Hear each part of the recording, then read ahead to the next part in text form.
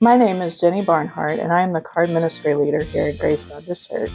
We send cards to people for various occasions on prayer and encouragement. We are a people of no special skill who enjoy sending the love of Christ to our church family. Every month, you will be given a list of names and you will be given the supplies that you need to send those cards out. If you are interested in being a part of this team, please get a hold of myself or click the link below.